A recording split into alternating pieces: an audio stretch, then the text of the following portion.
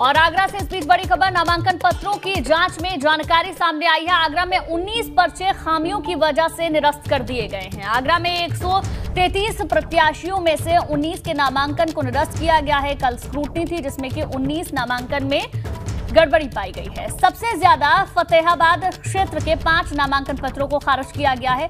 अपूर्ण और त्रुटिपूर्ण नामांकन की वजह से इन नामांकन पत्रों को खारिज किया गया है। अब 27 जनवरी को प्रत्याशी नाम वापसी ले सकेंगे। नामांकन दाखिल करने के बाद स्क्रूटनी हुई और स्क्रूटनी में कई ऐसे नामांकन थे जिसमें कि त्रुटिपूर्ण होने की वजह से उन्हें निरस्त कर दिया गया।